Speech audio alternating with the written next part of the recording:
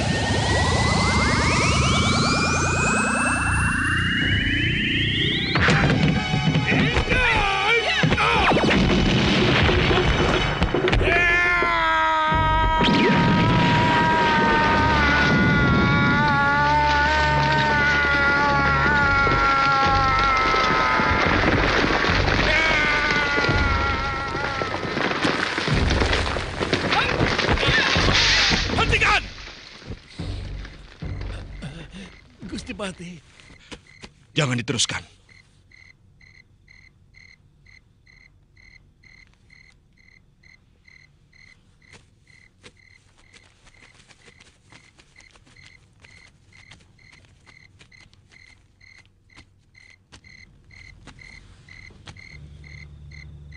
Tuan Patih Kebomundara, apa urusan Tuan dengan kami?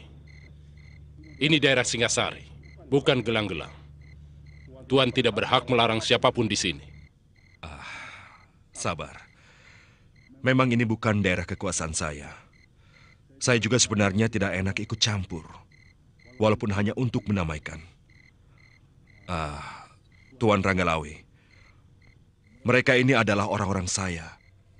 Sebagai patih gelang-gelang, saya minta maaf atas kesalahan mereka. Saya tidak suka diremehkan. Mereka jelas telah melecehkan kami, tentara Singosari. Saya mengerti perasaan Tuan Ranggalawi. Itulah mereka. Mereka tidak tahu mereka berhadapan dengan siapa. Mereka tidak kenal Tuan Ranggalawi yang sudah termasyur sebagai panglima perang pilihan. Baik, hanya karena Tuan pejabat gelang-gelang. Saya memaafkan mereka. Tapi saya tidak mau melihat mereka di tanah Singasari. Kalau masih kami jumpai juga, terpaksa mereka harus berhadapan denganku. Dan hukumannya, mati. Terima kasih Tuan Ranggalawi. Saya akan perintahkan mereka untuk kembali. Sekarang juga. Permisi.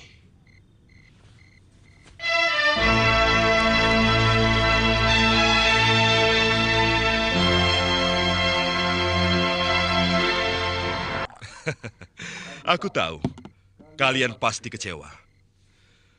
Biasanya seorang pendekar akan selalu penasaran bila menemui lawan yang mumpuni.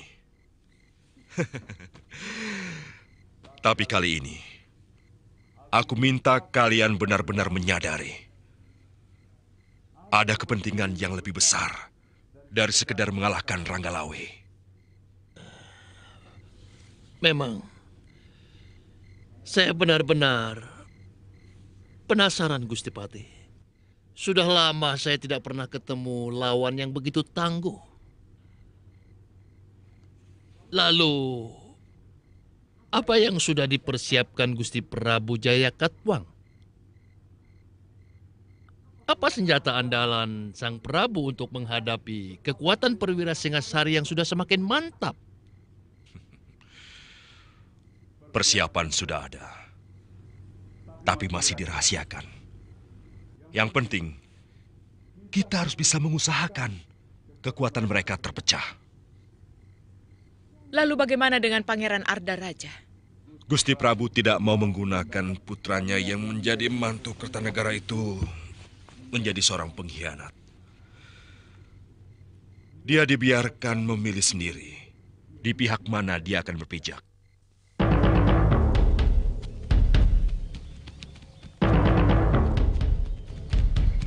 Yang menjadi pertanyaan, ada keperluan apa seorang patih memasuki negeri orang? Kemudian sangat aneh, kalau seorang patih bergaul erat dengan pendekar jorok macam Pubajel dan Dewi Sambi. Itu yang dulu pernah saya laporkan pada Gusti Prabu. Banyak orang gelang-gelang yang gentayangan dan mengacau di daerah Singasari, meskipun pada daerah-daerah yang jauh dari kota raja. Kita harus waspada. Kelihatannya gelang-gelang seperti air tenang yang sewaktu-waktu membahayakan. Mustahil terjadi perseteruan karena Jaya Katwang besan Gusti Kertanegara.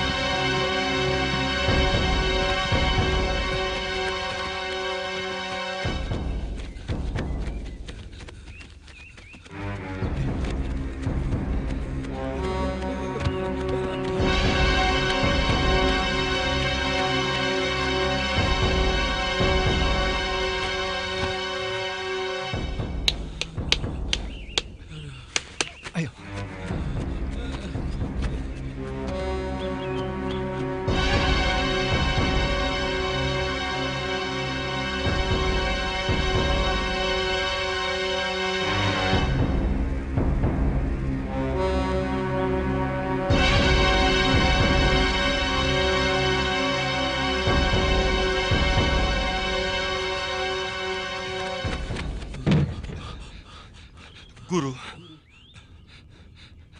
ada rombongan tentara Singasari telah memasuki desa. Apakah mungkin mau menangkap guru?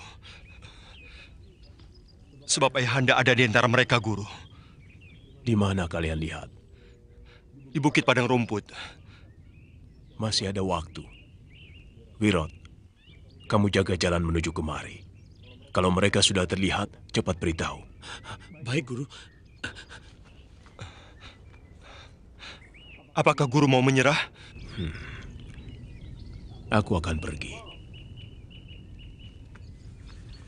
Sebab kalau aku sampai tertangkap, nasib ayahmu tidak akan lebih baik. Tentu kau pernah mendengar tentang Kris Empu Gandring kan? Iya, Empu Gandring mempunyai murid terkasih yang bernama Empu Bango.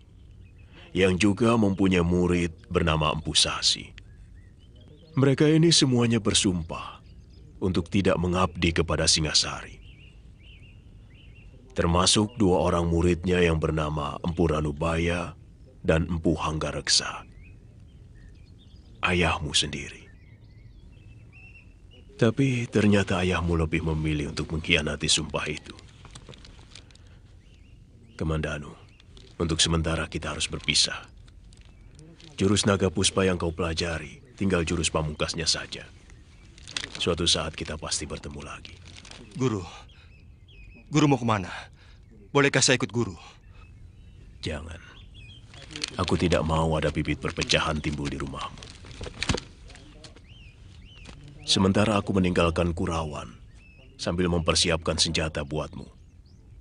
Sebagai pelengkap jurus naga puspa yang kau pelajari. Suatu saat kita pasti akan bertemu lagi.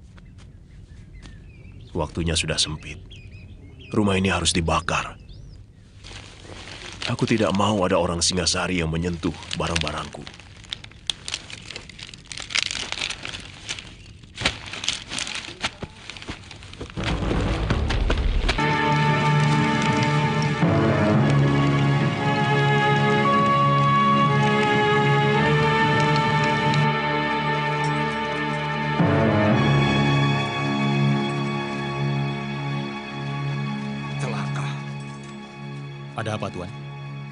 Rumah Ranubaya terbakar. Pasti ada yang tidak beres. Hea!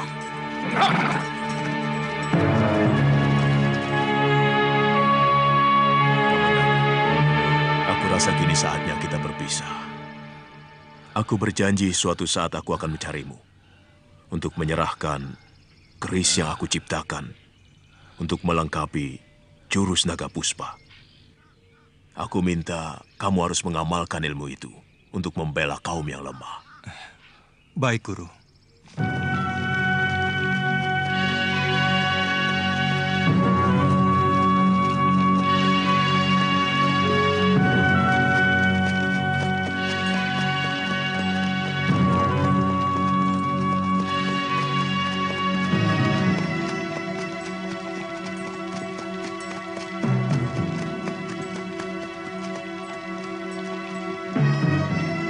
Cari di sekitar tempat ini.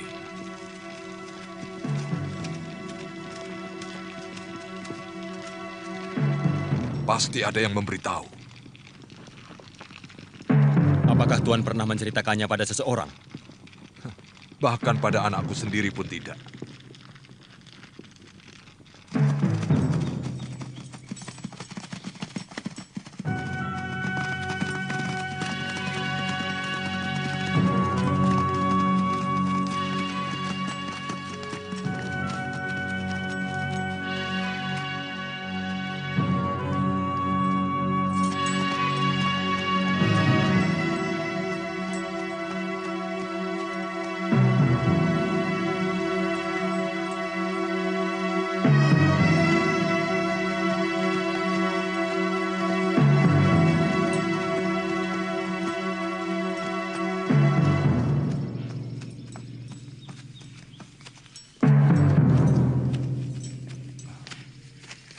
Kamandano, mengapa kau di sini? Mengucapkan selamat jalan untuk Paman Ranubaya, Ayah. Rupanya selama ini kau minggat kemari. Saya nggak suka weruh di sini, Ayah.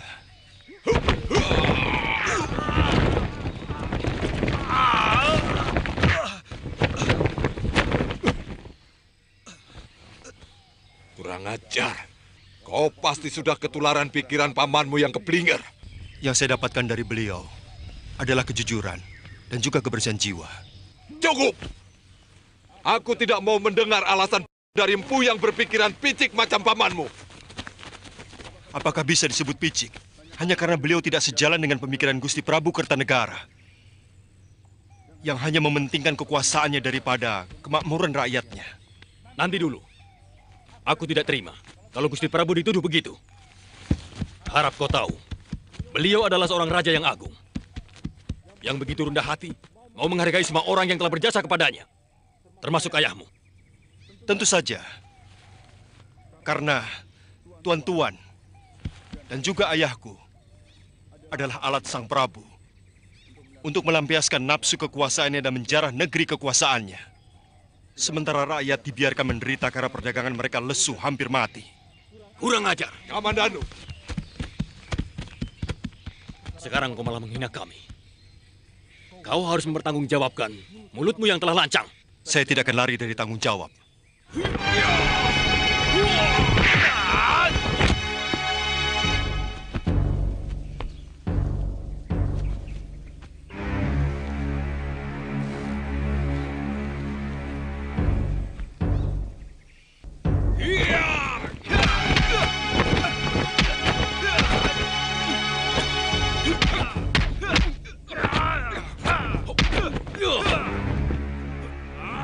Yeah!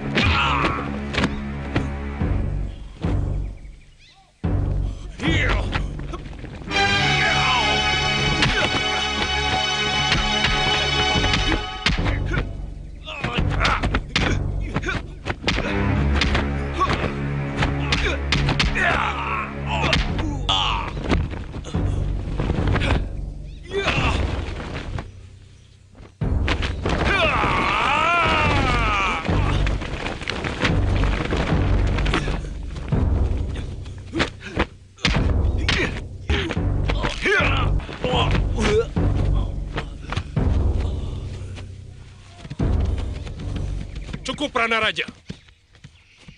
Raden, saya masih belum kalah. Saya ingin mencoba ilmu anak muda itu. Saya kenal jurus itu. maaf Tuan Ranggalawe. Biarkan saya membunuh anak saya sendiri. Dia memang patut untuk dibunuh. Saya menyesal. Kenapa dia justru mengikuti kesesatan Ranubaya? Paman Empu tidak usah cemas. Aku tidak menyalahkan paman. Aku malah tertarik pada keberaniannya. Itulah sifat pemuda sejati. Dia berani menampilkan pendapat dan berani mempertanggungjawabkannya. Tapi saya malu, Raden.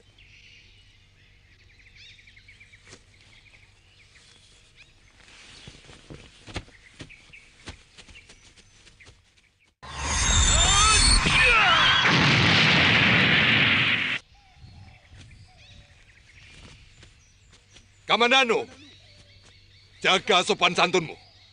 Kau tahu siapa yang kau hadapi? Seorang kesatria yang pasti memiliki jiwa kesatria. Kau benar anak muda.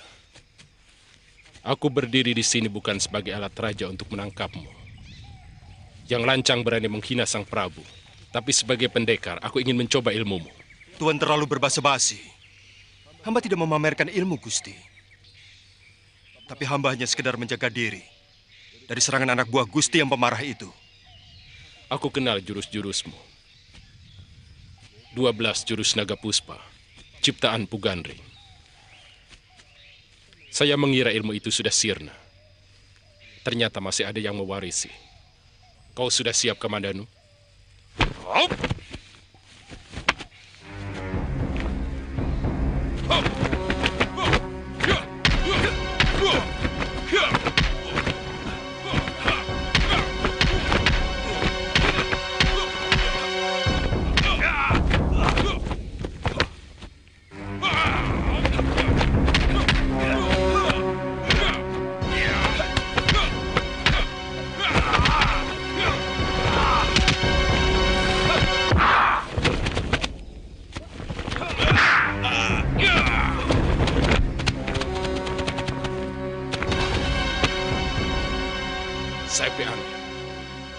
Kau titisan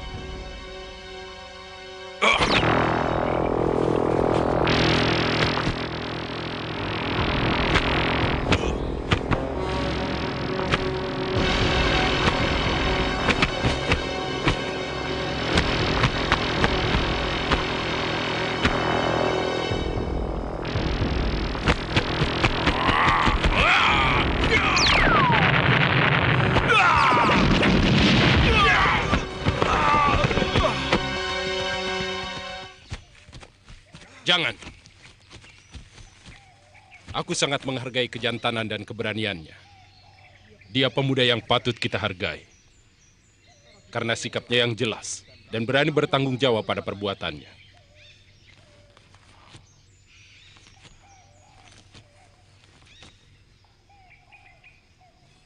Makan obat itu untuk menghentikan darah dan mengeringkan luka dalammu. Bunuh saja sekalian anak itu, Tuan Ranggalawe. Saya merasa gagal punya anak seperti dia. Dia berbakat menjadi seorang pahlawan karena dia setia pada sikapnya.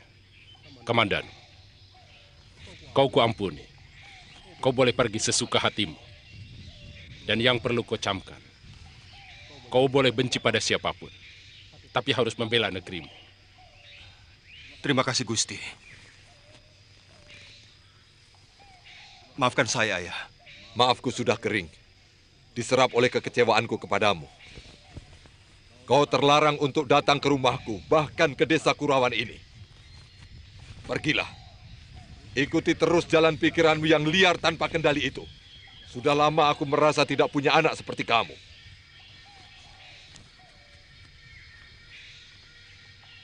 Tidak apa-apa, Ayah. Saya akan tetap merasa sebagai anak empu Hanggareksa. Oi,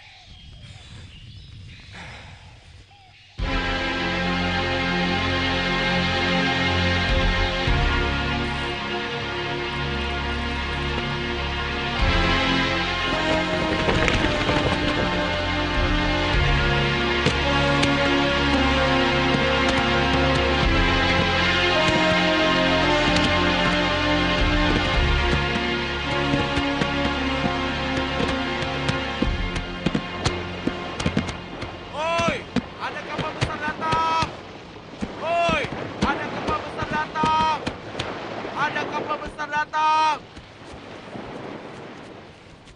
Ada kapal besar. Oi, Mereka seperti dari negeri seberang. Lihat, bentuk kapalnya berbeda. Barangkali kapal itu dari negeri naga. Cepat panggil Gusti Adipati. Sudah, kami dan Kusno sudah ke sana.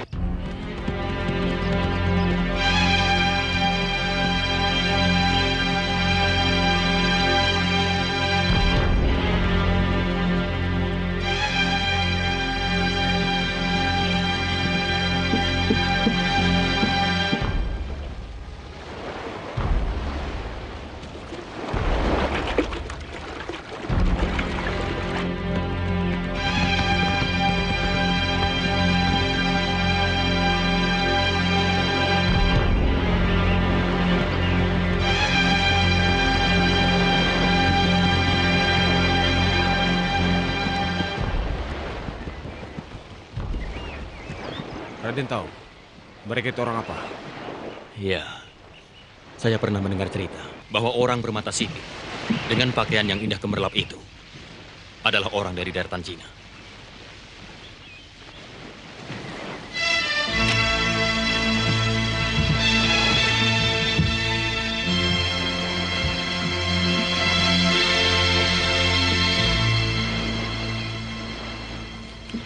Kami datang dari kerajaan Mongol. Kami mau ke kota raja. Bisakah Tuan menunjukkan? Bisa. Tapi tuan-tuan mau ke kerajaan mana? Masalahnya di sini banyak sekali kerajaan kecil ataupun kerajaan besar. Saya mau ke kerajaan Jawa. Nama rajanya Prabu Kertanegara. Prabu Kertanegara. Oh, itu raja kami. Kerajaan Singasari. Tempatnya sangat jauh dari sini. Tuan-tuan harus naik kuda kurang lebih sehari semalam. Saya bisa beli kuda di sini? Bisa, di pasar.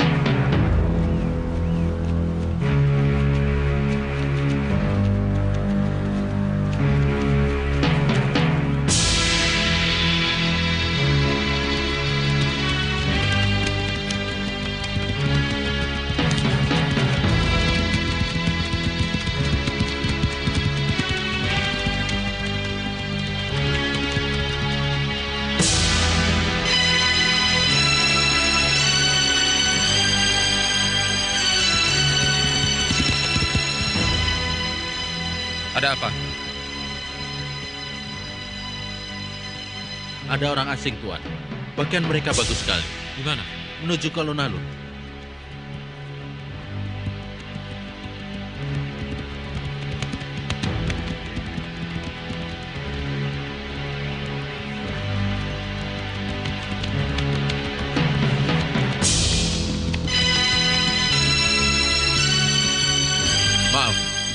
Kisana semua ini mau ke mana? Saya mengantarkan mereka dari Pelabuhan Tuban untuk menemui Gusti Baginda Prabu. Kami membawa surat penting dari Maharaja kami, dari daratan Cina. Oh, negeri besar di seberang laut. Eh, maaf, mungkin tuan-tuan tidak bisa langsung bertemu dengan Baginda Prabu. Karena hari ini bukan hari menerima tamu. Kapan kami bisa diterima? Kami membawa surat penting dari Maharaja kami. Mungkin besok pagi. Saya akan melaporkannya pada Mantri Pangalasan. Tuan-tuan bisa menginap di Wisma Dalam Puri. Tidak apa-apa. Kami akan menunggu. Raja Jawa baru bisa menerima kita besok pagi. Kita akan menginap di dalam puri kerajaan yang disediakan untuk tamu. Tidak apa-apa.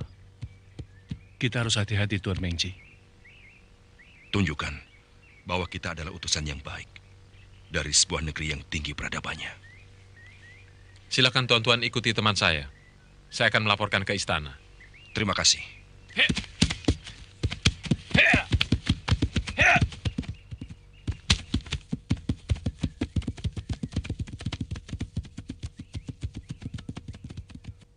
Dari sudut mana pun, tidak mungkin Jaya Katuang akan berkhianat padaku. Sebagai raja bawahanku, dia kubebaskan dari upeti. Bahkan aku sering memberi bantuan. Lain daripada itu, dia adalah besanku sendiri.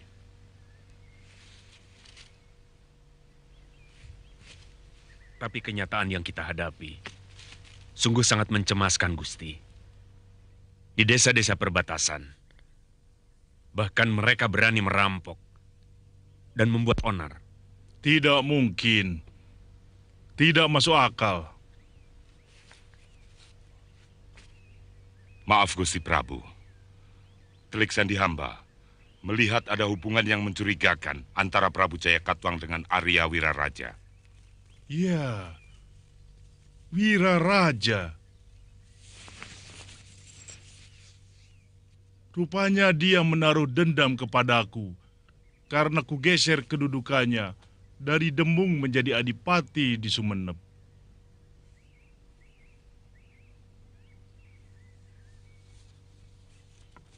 Sang Adipati berusaha terus memanas-manasi Prabu Jaya Katwang untuk memberontak. Apa berani mereka? Apa yang bisa diandalkan dari negeri kecil macam gelang-gelang? Ampunkan hamba Ayahanda Prabu. Mungkin pasukan gelang-gelang tidak sebanyak pasukan kita. Tapi sebagian besar pasukan Singasari sedang berada di Nusantara. Dan sebagian besar panglima kita yang sakti Mandraguna memimpin pasukan ke negeri Manca. Jangan lemahkan aku dengan berita buruk yang belum pasti kebenarannya itu. Tapi kalian kuwajibkan untuk menjaga keamanan keraton. Segera kirim tentara untuk menumpas siapa pun yang membuat kekacauan. Aku yakin akan terjadi hal yang mengagetkan. Kalian tahu, sejak dulu Maharaja Cengis Khan penguasa dari Tartar itu ingin sekali menguasai kerajaan di bumi Jawa ini. Tapi belum terlaksana. Bahkan dengan penaklukan Swarna Bumi oleh pasukan Singasari, mereka makin merasa ditantang. Kekuasaannya membentang di seluruh negeri di tanah Hindustan sampai ke ujung timur daratan Cina. Dari utara sampai negeri Campa di selatan.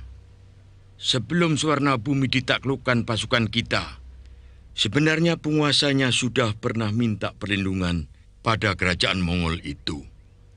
Jangan-jangan utusan itu akan menantang Singasari.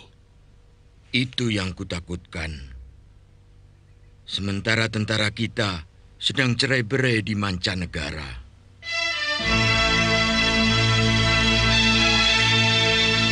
Negeri ini cukup besar dan punya selera keindahan yang tinggi. Tapi kesan saya, kemakmuran rakyat kurang diperhatikan. Ya, lihat saja. Dari pelabuhan sampai di kota raja ini, hampir semua rakyatnya hanya memakai kancut kain dan telanjang dada. Itu tidak harus berarti bahwa rakyatnya tidak makmur. Sebab masalah pakaian itu menyangkut tradisi dan budaya sebuah bangsa. Di samping karena memang hawanya di daerah ini begitu panas. Betul. Hawa di sini luar biasa panasnya. Mudah-mudahan hati rajanya tidak sepanas udaranya.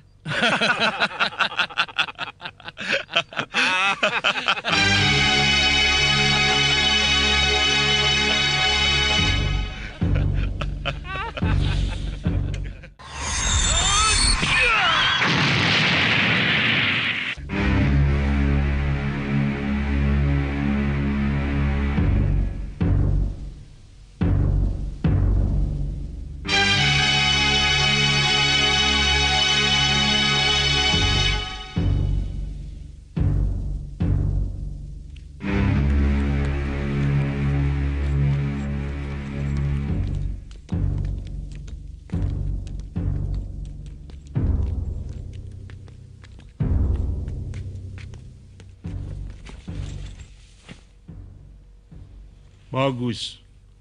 Kalian telah mempelajari tata kerama kami dengan baik. Hamba mengaturkan surat dari Baginda Maharaja Kubilai Khan, penguasa dari daratan Hindustan hingga pantai timur negara Cina. Bacakan surat itu, Wijaya.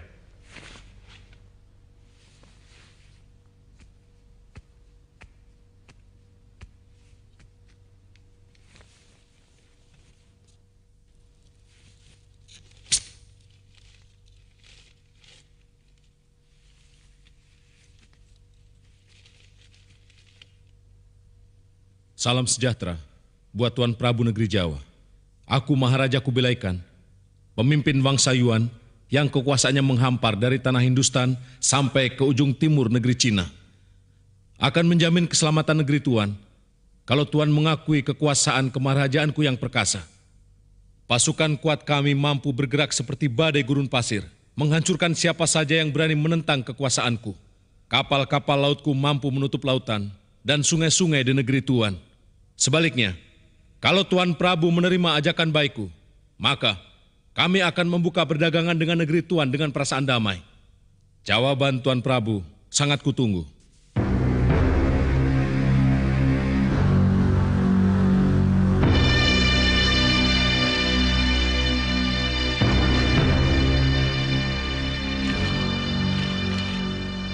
Sebagai utusan, hamba menunggu jawaban dari Tuanku Prabu.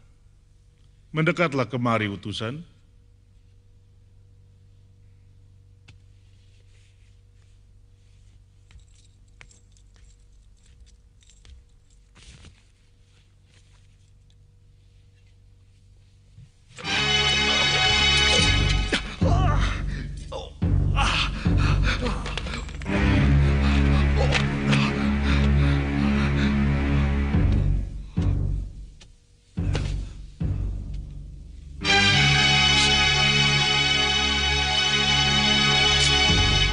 Itulah jawabanku.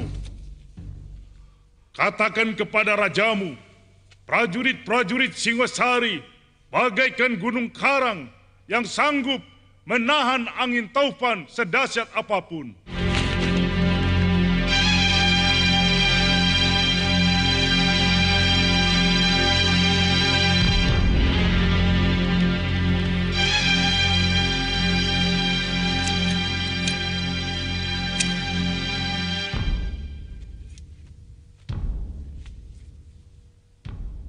Apa yang telah aku lakukan terhadap Bakulapura, Madura, Sunda, Negeri Pahang dan Suwarna Bumi adalah untuk membendung keserakahan Raja Tartar yang ingin menjarah raya seluruh Nusantara di selatan Laut Cina.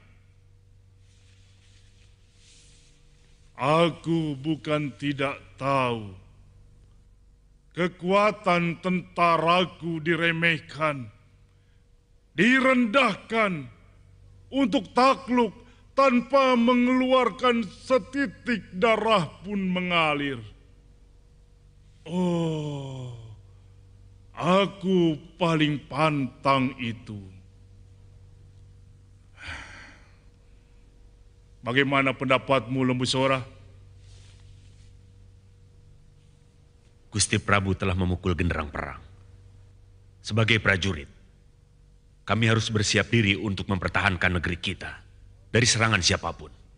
Bagus. Lipat gandakan pemuda untuk menjadi bala tentara.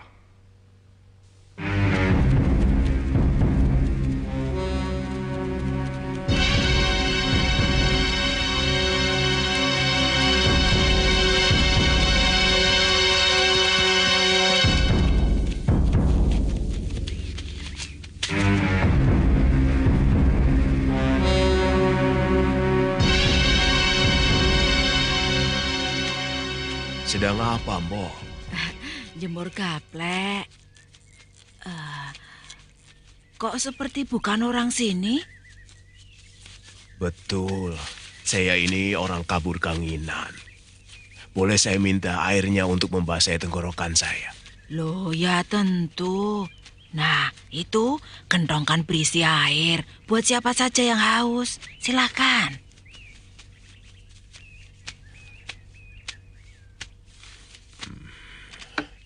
Ah. Jemur gaplek. Apa tanah di sini tidak cocok untuk padi? Padinya sudah di store untuk persediaan perang. Ya, demi negara, kita semua harus prihatin sebentar. Kalau rajanya suka berperang, ya beginilah. Yang dipikir hanya bala tentara. Seolah-olah rakyatnya cuma tentara. Tidak ada yang lain. Dua orang anak saya juga diwajibkan jadi tentara. Sekarang sedang berada di seberang. Buat apa kekuasaannya diakui di negeri manca? Tapi rakyatnya sengsara. Salah-salah pertahanan di dalam negeri sendiri malah lumpuh.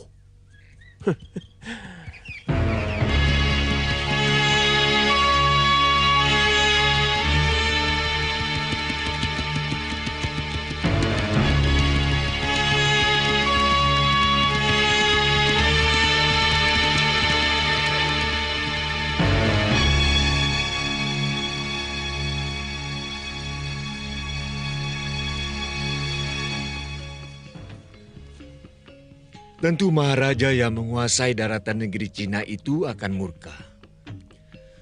Dan bukan mustahil. Mereka akan menyerang Singasari. Aku tidak takut. Mereka sudah menghina kewibawaan Singosari. Gusti Prabu bisa membalas surat itu dengan cara halus. Yang menyatakan bahwa Singasari mengakui keberadaan Maharaja baru yang bernama Kublai Khan. Dan sebagai seorang raja yang sederajat dengan Gusti. Dan Singosari mengajak untuk menjalin persahabatan. Sebagaimana yang terjalin dengan raja-raja sebelum beliau. Dengan saling mengirim dan memberi tanah mata.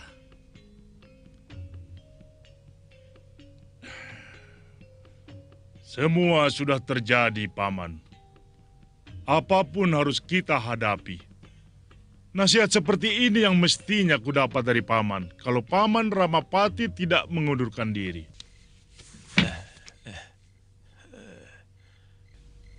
Mereka pasti dari negeri seberang yang sudah sangat maju.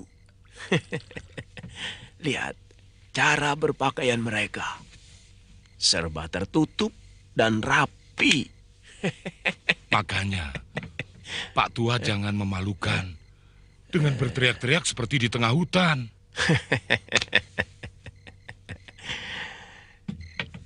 Siapa pun boleh. Yang gembel, yang penguasa, yang berpakaian rapi seperti mereka pun boleh ikut. Karena adalah pelarian dari ketidakpuasan, pelarian dari kekesalan, pelarian dari ketertekanan batin. Ah.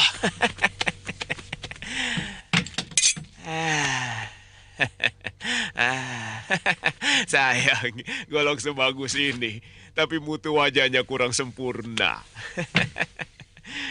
Dia tidak bisa berbuat apa-apa kalau lawannya dengan golok yang mutu wajahnya lebih sempurna.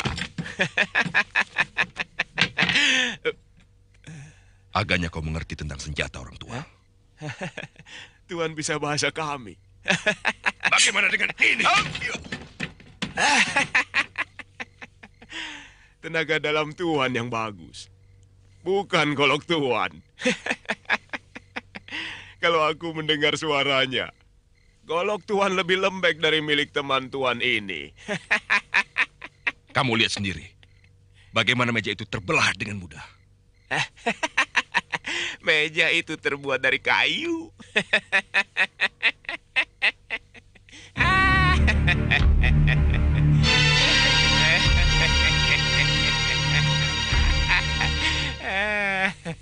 Aku semakin penasaran padamu orang tua.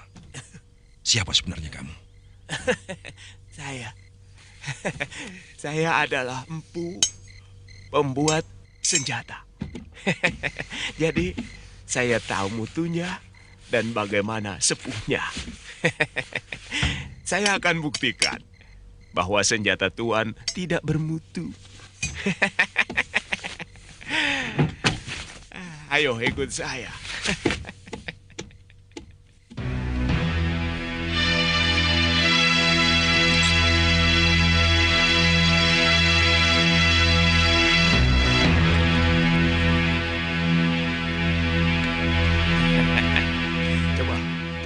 Kalian sabetkan golok kalian ke batu ini.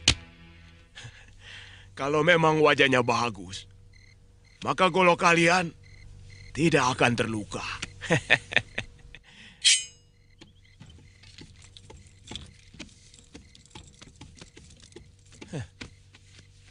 Golok seberat ini, mana mungkin bisa bergerak dengan lincah? Sekali tebas. Golok lebar ini mampu membabat dua musuh sekaligus.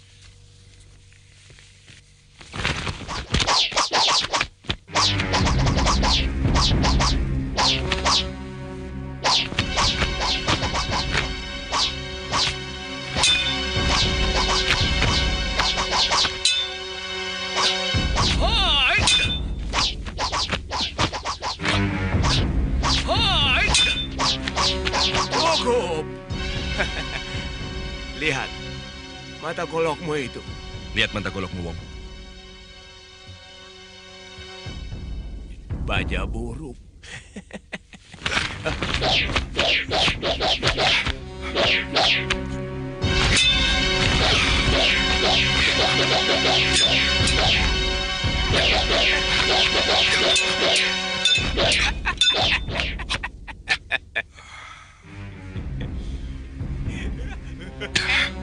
Raja,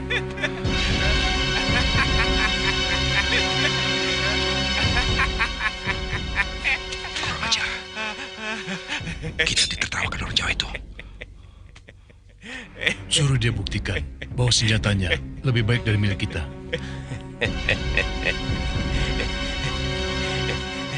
Orang tua, kau harus buktikan bahwa senjatamu lebih baik dari yang kami miliki.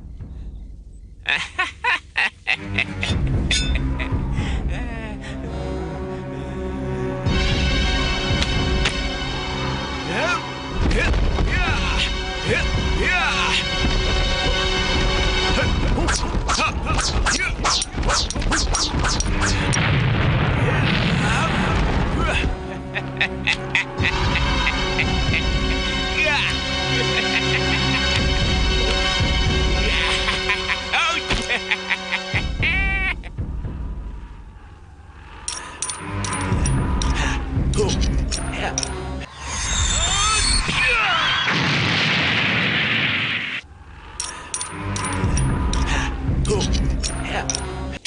Pasti dia tukang sihir.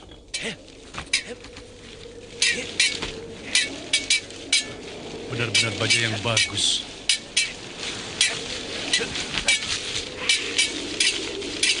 Cukup.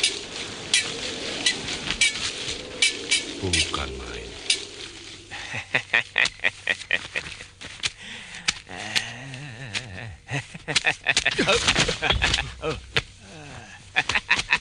Boleh aku lihat senjatamu orang tua? Ini asli buatan Jawa. Dengan bahan besi yang ada di perut-perut gunung di tanah Jawa ini.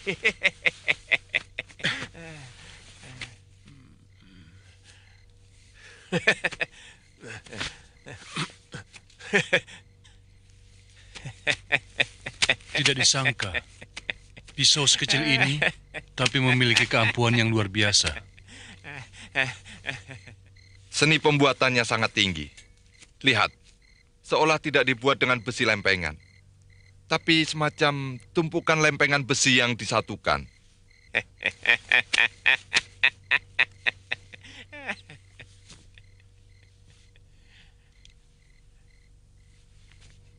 Coba kita adu dengan pedangku ini. Chenbi.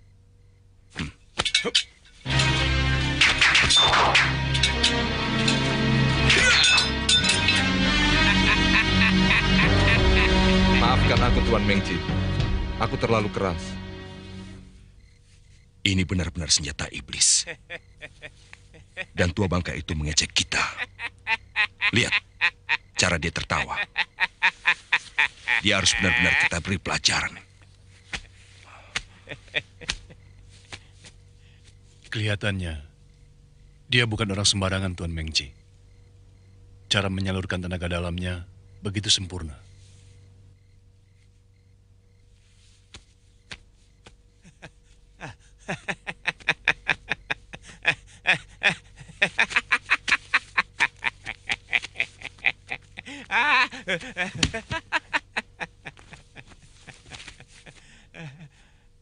Senjata Tuan memang hebat. Kami mengakui kelebihan Tuan dalam ilmu membuat senjata.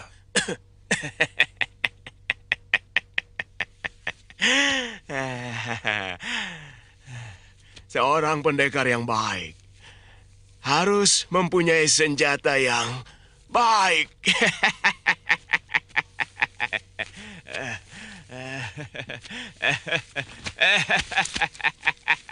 Pelayan, ini untuk empat kendit dan satu piring jajanan.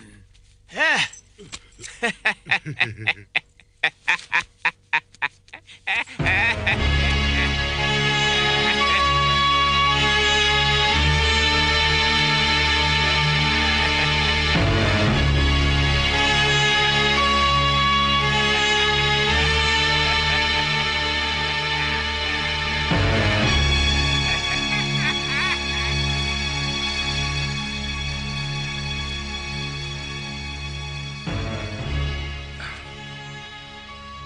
Belum ada tanda-tanda dia muncul.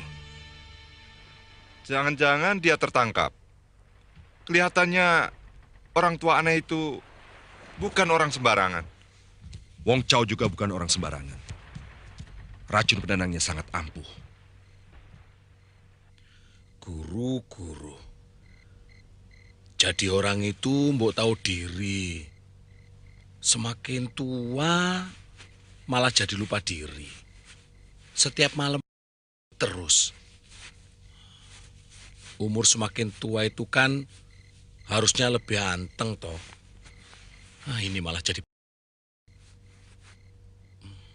Buyang, Rat, Buyang. Aku mau pulang ke Kurawan, Rot. Angon kambing.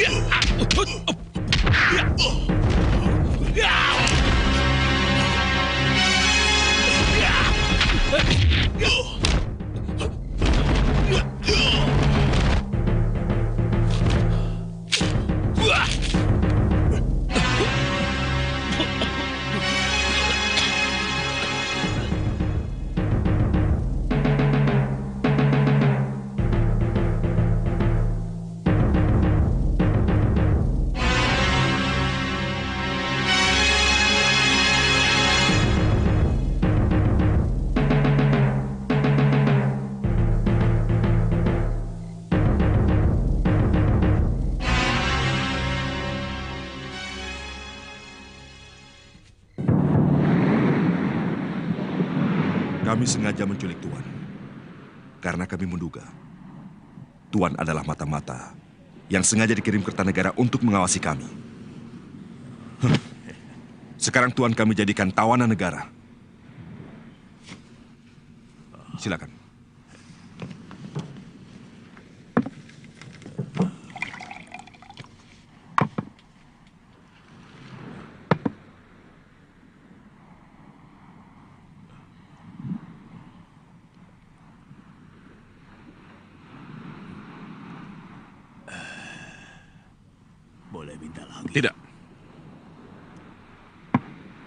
Aku tahu. Tuan pasti ingin melupakan bahwa Tuan sedang menjadi tawanan kami.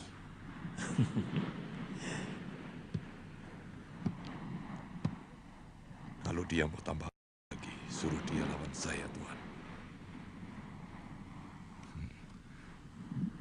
Kau bisa mendapatkan itu kalau kau berhasil merebutnya dari tangan Tuan Chen Pi.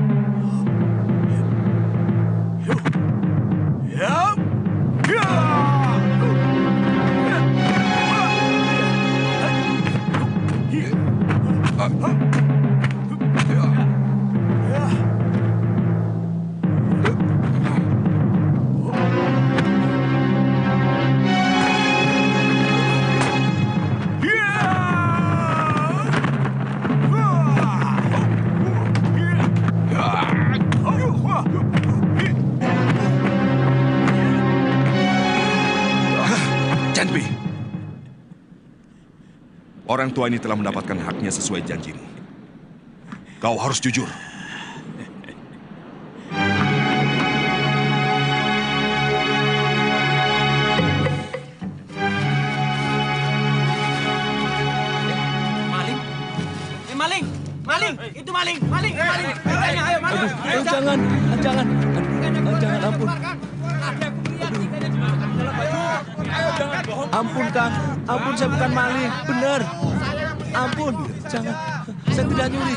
Bohong. Bohong. Hentikan.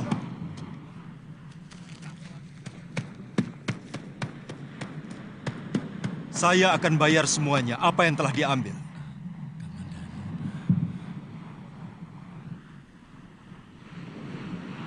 Nirot, kamu mau ikut kalau aku pulang ke Kurawan? Tidak, Kamandanu. Saya mau di sini saja. Saya mau menunggu sampai guru pulang. Ada yang bilang guru telah dibawa oleh kapal dari seberang. Yang pelautnya bermata sipit. Itu orang-orang dari kita Nagari.